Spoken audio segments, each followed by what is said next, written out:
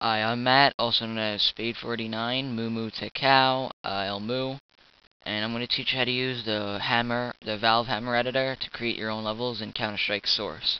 And if you don't already have it installed, you just go to Steam, and in your Tools tab, install Source SDK. And then you run it, you get the Source SDK window, and you, under Applications, you open the Hammer Editor. So now the first thing you're going to do is you're going to go File, New, or Control N, and create a new map file. I'm working in kind of a restricted space right here so you can see the uh, video because there's limited space in YouTube and tutorial vid. So every map you make, you're going to want to make it airtight because if the void gets, uh, the outside area gets in and um, it'll cause a leak and your map will either not run at all or crash when you try to run it. So just make sure it's airtight and first we have our tools on the left.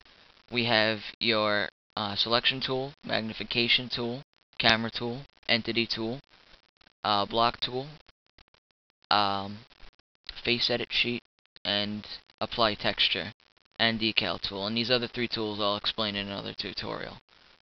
So first you're going to do is you're going to take the block tool, and you're going to create a box. I'm going to show you the quicker way of just making a box. You can just make a box. Um, you have your three ports. You got top, side, and front since we're working in 3D space. And now you'll create an object.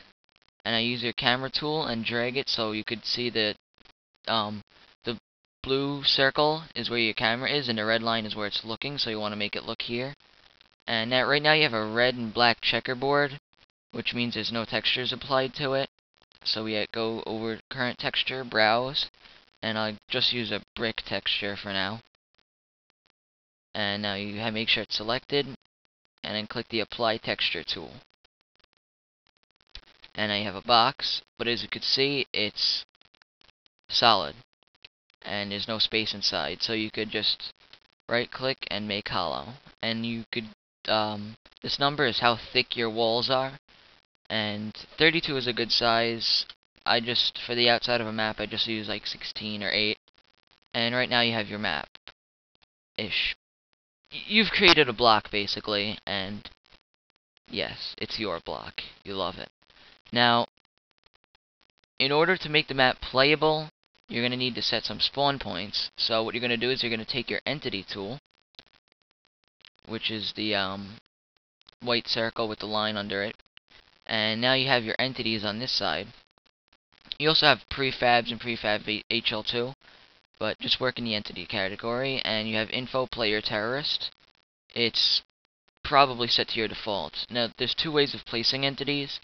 You could either click them in 3D space, or if you want to get more precise, you could just set the area on top, and then set the height from another port, and then you could see where these um, co the coordinates triangulate, that's where your entity is going to be.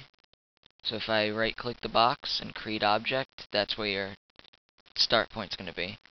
And then you create um, info player counter terrorist.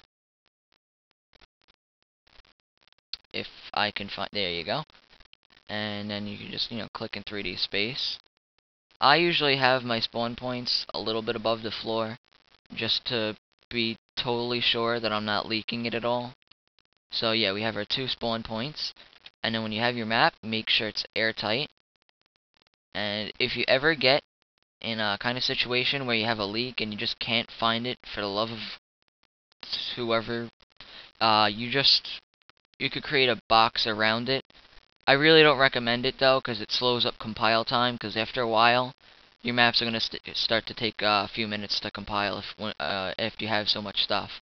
So when you're ready, you just press F9, and you save your map. I'm just going to save it as um, tutorial map. And I usually don't run the game after compiling. And then you see you have your compile window.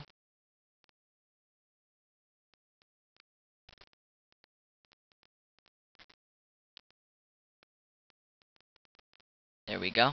And now the map's compiled. and now we just minimize hammer. And now I'm gonna open up source. It's probably gonna be cut off and the audio might get choppy because uh, source takes up a lot of CPU I have 2 gigs of RAM so it shouldn't be a problem but I'm working in a limited space. So let's see how this works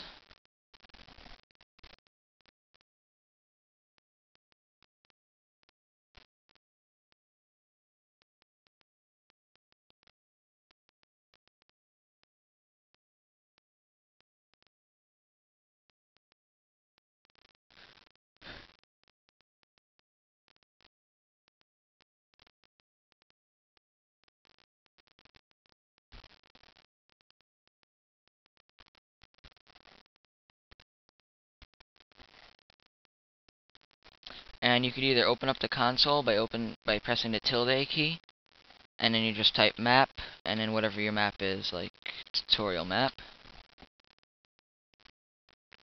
And then the map loads.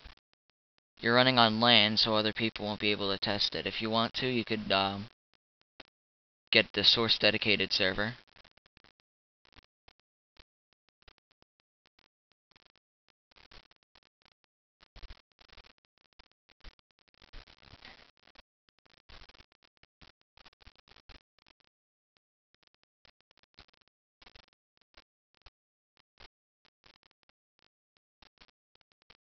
And now you have your map. And there you go. You now are the proud owner of a box. I hope you've learned from this tutorial. I'm going to make more on different topics. So, stay tuned.